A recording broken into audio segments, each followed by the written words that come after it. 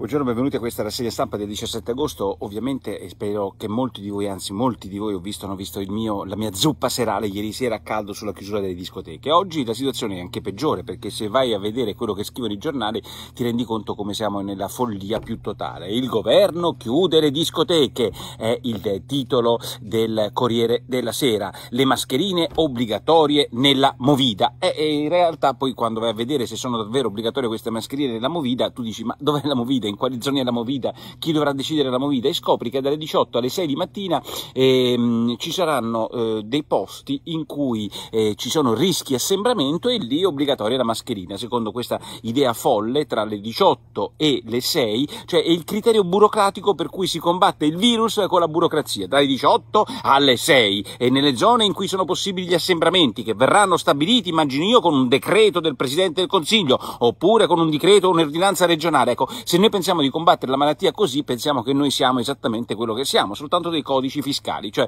delle persone che non hanno nessun tipo di ragionamento. Non possiamo non ehm, e com'è che dice tutti quanti a partire da, president, da, da, da, Speranza, scusate, dice non possiamo inficiare i sacrifici fatti nei mesi passati dagli italiani. Quindi la logica è che siccome ci hanno messo gli arresti domiciliari per tre mesi in questo paese, due mesi in questo paese, oggi devono ridurre le nostre libertà, perché questa è la logica, si riducono alcune libertà perché ci hanno arrestato ieri. Non so se vi è chiara la logica, cioè dopo averci arrestato non possiamo inficiare tutti gli sforzi fatti, perché questa è la logica straordinaria, ma che dicono nei salotti? Il 90% delle persone non la pensa come me e continua a dire ma che te ne frega a te delle discoteche? 4 bilioni di affari, di giro, di giro d'affari. E questi cazzoni non si rendono conto, e lo dico con grande serietà, che la libertà si perde a piccoli passi. A me delle discoteche, ormai ho 50 anni, non ce vado più, ho adorato le discoteche, vorrei parlare con Mr. Franz più che con Speranza nella mia vita, ma il punto è un altro! Il punto fondamentale è che prima ci sono le discoteche, poi ci sono le mascherine, poi ci saranno le, le auto, abbiamo fatto delle specie di enormi, a me mi sta sulle balle questa Martani, ma se una si deve pensare che deve avere l'obbligo della mascherina in macchina, beh, ci arriveremo. E la psicopolizia, mm, io non difendo le discoteche per difendere soltanto i 4 miliardi e la libertà delle discoteche, ma difendo il principio che tanto sai, le discoteche non mi riguardano, e i pub non mi riguardano, e poi i supermercati non mi riguardano, le banche non mi riguardano, le tassazioni non mi riguardano, è tutto così. E tanto voglio dire, Speranza dice non possiamo inficiare gli sforzi fatti, quindi in virtù di due mesi sbagliati di lockdown fatto come abbiamo fatto in Italia, oggi è tutto possibile. La trovo straordinaria. E poi, se volessimo essere polemici, come fa oggi il tempo, le discoteche chiuse, sbarchi a go-go. E allora mi dovete spiegare una cosa, cioè noi limitiamo le libertà degli italiani e dei discotecari, ma non limitiamo le libertà dei pregiudicati tunisini che vengono nelle nostre isole, perché lì invece ci vuole il rispetto, l'umanità, perché se no nei loro confronti l'umanità per i discotecari non c'è, ma per i trafficanti di uomini c'è, perché possono portare le persone che scappano dalla Tunisia, non dal Bangladesh, dalla Tunisia. Quelle vanno bene perché il principio è assurdo, è, è, è, è tutto così, è tutto è incredibile. Vedete, ma poi l'altra cosa straordinaria Nah, è che si fa una specie di costruzione, ve lo dico subito, una costruzione drammaturgica che è una grande messa in scena, se non fosse uno che la pensa come me, secondo me oggi perché resta un libertario, una grande messa in scena santoriana. E quindi nelle prime pagine dei giornali, così come fosse, non so, vi ricordo le, le vecchie battaglie di Santoro contro Berlusconi, vedi bimba di 5 anni intubata, io sono disperato per i genitori e per questa bambina di 5 anni intubati, immaginatevi voi che cosa possa voler dire una bambina di 5 anni intubata, intubata. Ma perché mettiamo la storia di una bambina di 5 anni intubata all'interno del, delle cronache sulle chiusure delle discoteche? Lo fanno il Corriere, lo fanno Repubblica? Perché questa ragazza ha una sindrome emolitico urticaria vabbè, insomma, ehm, emolitico, una cosa gravissima che colpisce anche i polmoni e anche il Covid. E questa è la storia italiana, per cui in realtà il medico stesso dice le uniche due cose sicure che sappiamo di questa bambina che è molto grave e che ha il Covid,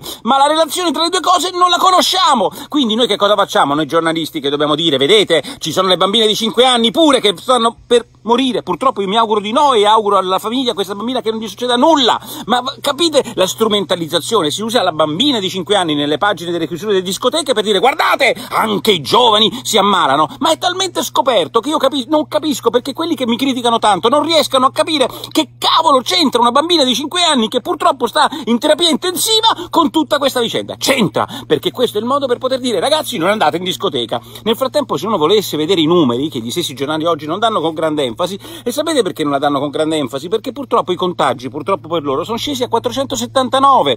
Oggi i contagi hanno portato a 56 persone in terapia intensiva, cioè non oggi, nell'ultimo periodo ci sono 56 persone in terapia intensiva, che vuol dire persone gravi, ma che possono comunque non essere compromesse. 4 morti! Sapete quanti sono i morti ieri, quanti sono stati ieri morti? Me lo ricorda nel miglior pezzo di oggi, cioè Capezzone, che sta veramente in forma in questo periodo. Sapete quanti morti purtroppo ci sono stati ieri per cancro 500. Sapete quanti morti ieri ci sono stati per infarto? 400. Sapete quanti morti ieri ci sono stati in Italia? Circa 1700. Sapete quanti morti per Covid che vengono dai mesi scorsi? 4. Gli stessi che probabilmente avremo in ehm, novembre e dicembre per influenze normali. Allora io dico, questo giustifica la bambina di 5 anni intubata? L'Italia è come a dicembre, cioè Repubblica dice che l'Italia è come a dicembre, eh, se noi non agiamo, eh, se, se, non agiamo tra due mesi ci troveremo a subire un nuovo lockdown, questo è il titolo di Repubblica, ma non calcolano che rispetto a dicembre abbiamo alcune cure, i medici sanno come affrontare, ci sono nuove terapie intensive,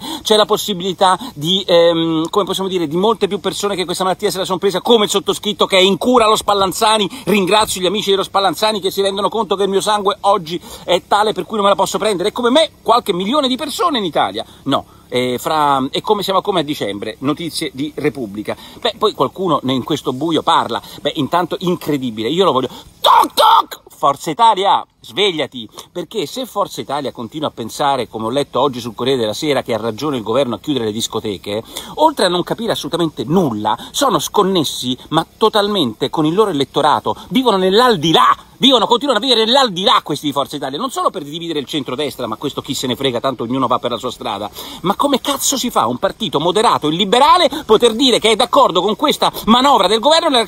Sapete cosa? Si cagano sotto anche loro. Io sono, cioè, un tempo, questo era un partito liberale, l'hanno affidato, ormai voglio dire, quell'altro è, diciamo, un sovranista con purtroppo una politica economica, Salvini, diciamo, non esattamente non sempre liberale, certamente più liberale della, di Giorgia Meloni che comunque ha una posizione almeno molto coerente. Questi qua, questi, questi, di Forza Italia, uno va da una parte, uno va dall'altra, lo capisco perché i parlamentari se ne vanno, se questi sono d'accordo sulla chiusura delle discoteche, ma questi ma dove vivono? Io voglio chiedere, toc toc, il mio amico Andrea Ruggeri davvero pensa che, che questa roba, che lo conosco e so bene come la pensa, perché poi Andrea Ruggeri ieri ha fatto un video che oggi grazie al cielo qualche giornale lo ha ripreso senza citarlo sul grandissimo caos di questo governo, il grandissimo caos caos di questo governo, che è il caos per il quale ti ordina dovete tornare dalla Grecia dalla Malta, vi dobbiamo fare tutti i test, poi dopo loro stessi eh, non sono in grado di approntarli né a Fiumicino e vi racconta questa gincana di casini che c'è per fare i test che il governo ci ha obbligato. E se tu non fai il test, cosa succede? Se non fai il test devi stare chiuso a casa. Esattamente quello che dicevamo in una zuppa qualche settimana fa. Loro ti danno un obbligo, ti dicono se fai assolvi quell'obbligo sei libero, non ti permettono di assolvere quell'obbligo, quindi non sei libero, quindi sei agli arresti domiciliari familiari, cioè non so se la cosa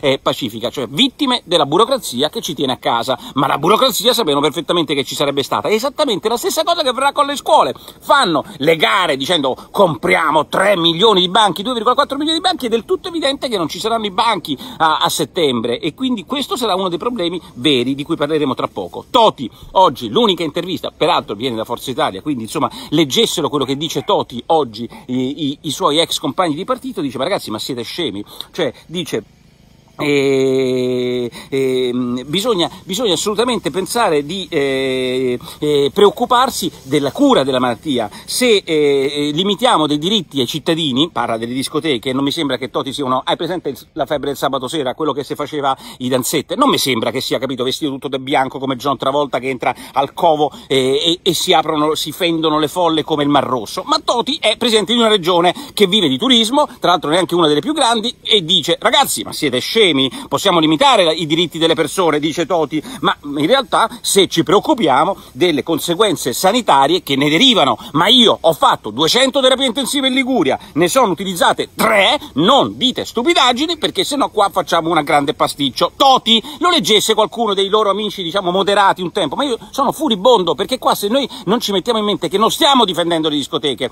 noi stiamo difendendo le nostre libertà. A me delle discoteche, lo dico ai miei amici discotecari, mi interessa in maniera ancillare, difenderei anche Belzebù se facesse un'attività legale e che venisse chiusa per una specie di ordinanza di cui in domenica di agosto si, si riuniscono bocce e compagnia cantante, ma è difficile dirlo. Linus su Repubblica, che è a favore della chiusura delle discoteche, affronta un altro tema, ma dice, ma scusate, ma come cacchio vi è venuto in mente di riaprirle? Cioè, voi pensate che si possa andare in un'enoteca senza bere del vino, dice Linus, ma voi aprite le discoteche che volete che succeda? E poi vi accorgete, oh, abbiamo aperto le discoteche e ci sono degli assembramenti. Beh, è roba straordinaria. Tra l'altro non è vero che le discoteche sono aperte, perché quelle al chiuso sono, restano chiuse, erano quelle all'aperto che vengono aperte. E giustamente un gestore di discoteche dice una cosa veramente semplice, ragazzi, ma che abbiamo fatto il divieto di ballo? Perché adesso sicuramente quello che avverrà è che si continuerà a ballare, ma non in strutture organizzate come quelle delle discoteche. Il solito concetto del proibizionismo. Toc toc! Forza Italia, la conosci sta roba o non la conosci? Dicono che sono a favore della manovra. De... Io vorrei veramente vedere dei deputati di Forza Italia che dicono, oh ragazzi, ma che siete scemi?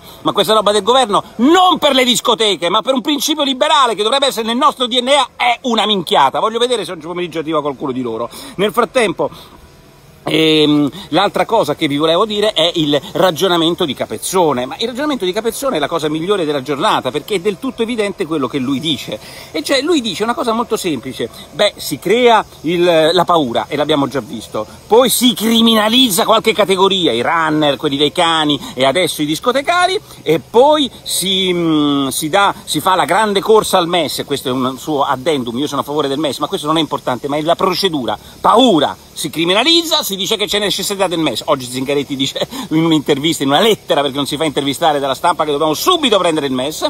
Io sono d'accordo con lui, ma la procedura che racconta Capezzone è esattamente questa. Criminalizzazione, richiesta del MES e poi si dirà, ragazzi, anche sulla scuola è colpa vostra se non può iniziare, colpa dei giovani irresponsabili. Ed è esattamente quello che succede, perché Speranza oggi dice da qualche parte, uè, ragazzi, lo dice Repubblica, i giovani ci aiutino, se no è a rischio l'inizio della scuola. Esattamente, voglio dire, quello lo scrive sulla verità, ed è esattamente quello che leggendo tutti gli altri giornali si sta costruendo. La paura, c'è la bambina di 5 anni, la criminalizzazione, i giovani che vanno in discoteca, il MES che è necessario, Zingaretti che lo dice alla stampa, e la scuola che per colpa dei giovani non riprenderà. Speranza su Repubblica, cioè tutti i pezzettini, non di un complotto, io non credo ai complotti, tutti i pezzettini della nostra libertà che va all'inferno, e quelli dicono è giusta la discoteca. Beh, nel frattempo che cosa sta succedendo? Mentre questa libertà, dal mio punto di vista, che è la libertà anche di poter dissentire va all'inferno. Che fine ha fatto la, la, roba delle fake news di Palazzo Chigi? Chissà se esiste ancora. Beh, insomma, nella, nella, libertà che va all'inferno sta avvenendo anche una questione politica fondamentale, cioè l'alleanza tra Partito Democratico e Movimento 5 Stelle. Perché se le elezioni del 20 eh, eh, si terranno a settembre, se si terranno. Il rischio è che il centrodestra vinca 4-2. È un rischio che se questi continuano a dire ste minchiate, cioè se io devo votare Forza Italia che, che vuole eh, la chiusura delle discoteche o devo votare Zingaretti che la applica, beh insomma allora vado sull'originale. No, oddio, non l'ho detto, non l'ho detto, però avete capito la logica. Beh comunque sia, io non penso che Fitto, non penso che quelli che, che, che guidano le regioni la pensino come Lopalco, io non penso che, e ho letto che Toti la pensi come Conte, grazie al cielo, ma comunque è speranza. Comunque, questa alleanza PD e 5 Stelle è veramente una roba ridicola per quello che il, PD, i 5 Stelle avevano detto del PD e oggi ne parlano tutti i giornali. Ma Aldo Cazzullo sulla Corriere della Sera intelligentemente dice toc toc,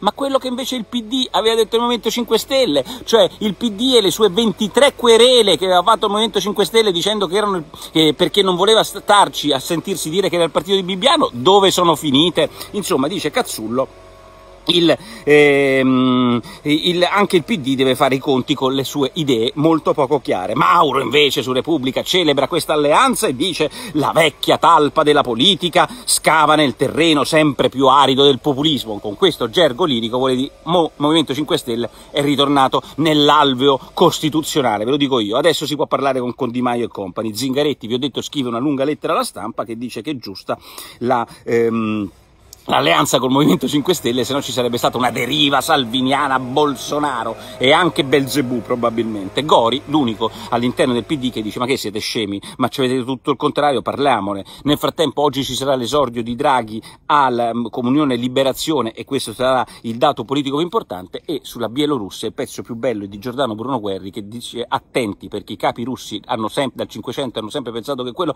fosse terreno loro, c'è molta puzza di quel 68 di Praga in cui in realtà i, i, i, i carri armati russi fecero quello scempio della democrazia che obiettivamente in quell'Unione Sovietica non c'era e probabilmente anche oggi non c'è in quella parte del mondo. Bene, vi do un grande abbraccio, ci vediamo come sempre più tardi. Buonasera, buongiorno.